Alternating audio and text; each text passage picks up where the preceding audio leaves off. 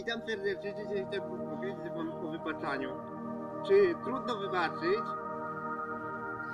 Zapytam się mojego operatora, czy trudno wybaczyć, bo operat... bo... Jak myśli, jak myśli mój operator? Czy trudno wybaczyć? Ja myślę, że tak. A jak mój operator myśli? Zależy od sytuacji. O, od, y, zależy od jakiej sytuacji. Czyli na przykład mamy y, osoby y, zakochane. Kłócimy się o byle co i nie potrafimy się dogadać. Czy, czy o miłość, czy o jakieś tam inne sprawy, ale nie potrafimy się dogadać. Wtedy się kłócimy i nie, nie potrafimy wybaczyć tej osobie to wtedy myślimy, co zrobiliśmy źle. Bo nie, nie, nie wiemy, jak zareagowała ta osoba. Może źle zareagowała, może dobrze. Sami nie wiemy. Wtedy musimy się próbować dogadać. Idziemy do tej osoby i po prostu pytamy tę osobę, a jak z nami nie rozmawia, to jest trochę dziwna sprawa. Co wtedy robimy?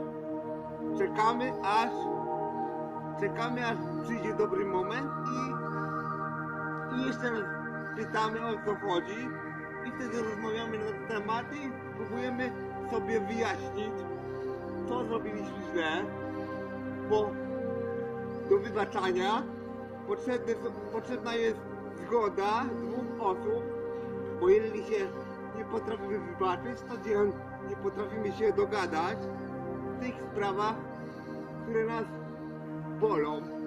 Po wybaczania, po wybaczania nie ma, nie ma dosyć, a wybaczanie jest potrzebne każdemu człowiekowi w życiu, bo bez wybaczania nie można się porozumieć.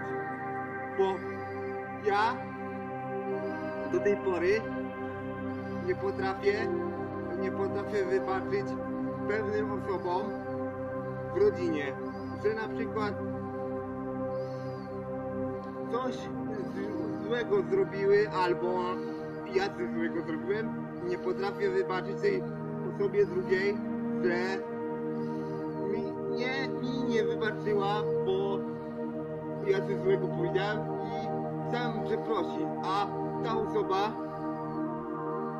bywa tak, że nie chce tych przeprosić, co wtedy co wtedy robimy? Czujemy się źle.